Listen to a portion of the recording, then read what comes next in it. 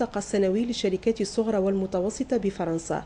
هذا الملتقى اغتنمه الوفد التونسي لتوسيع الحملة الترويجية للمؤتمر الدولي للاستثمار الذي سيلتئم في تونس قريبا. لاجتذاب أكثر عدد من الشركات الفرنسية الصغرى والمتوسطة تصبح المشاركة والحضور في ملتقى Planète PME أكثر من ضروري.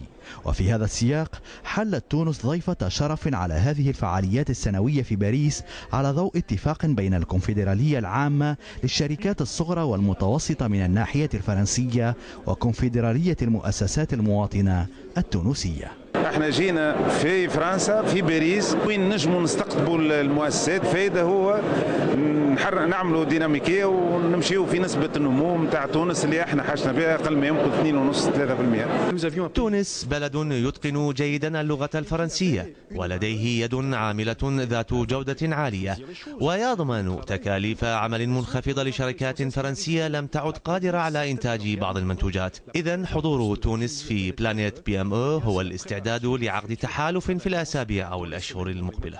الفعاليات لم يتخلف عنها وفد تونسي يضم 30 شركة تونسية ويترأسه وزير التنمية والاستثمار الذي دعا المستثمرين الفرنسيين والأجانب إلى اكتشاف المنظومة الاستثمارية في تونس على أساس القانون الاستثماري الجديد ومخطط التنمية الخماسي بين 2016 و 2020 والمشاركة في المؤتمر الدولي للاستثمار الذي يستهدف فيه المنظمون حوالي ألف مستثمر في قطاعات مربحة كالنسيج والسياحة والتكنولوجيا الرقمية. فما قريب 100 شركه متوسطة وصغيرة من فرنسا اللي إحنا توا نستقطبوا فيهم ونحاولوا نجيبوهم لتونس.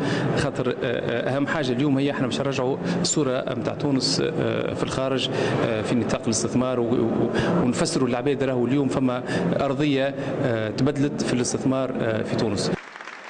ولجلب أصحاب المؤسسات دعت مختلف الأطراف التونسية إلى وجوب النظر إلى تونس ليس كسوق محلية أو إقليمية فحسب إنما أيضا كبوابة نحو السوق الأفريقية. لئن تعددت المؤتمرات ولقاءات العمل والاجتماعات في هذا الملتقى فإن هدف الحضور التونسي واحد إبراز أن المناخ الاستثماري في تونس على درب الإصلاح والتطوير وأن تونس نقطة مضيئة في الخارطة العالمية للاستثمار. وسيم الدالي